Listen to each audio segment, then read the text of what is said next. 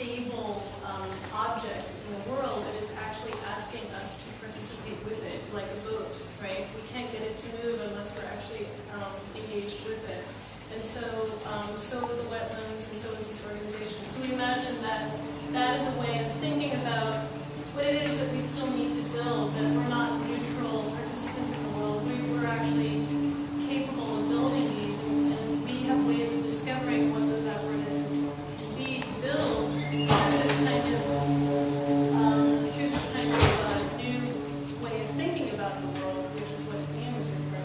So what we've got is we have four groups, and they have actually kind of specific questions about these four topics.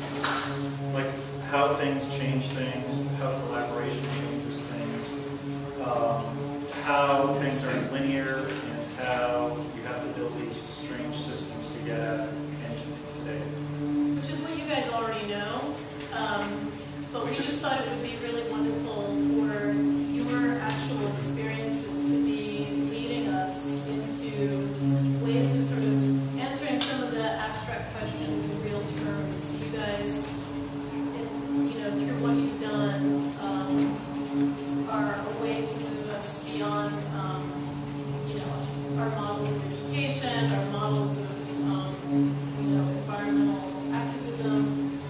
So the final thing is, um, you guys will be taking notes, discussing, debating, prodding. You guys will be coming up with great new ideas.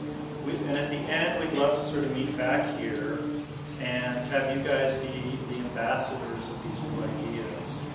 Um, to, in a sense, continue this question of what should justice look like, what should politics look like, that will be the end of uh, our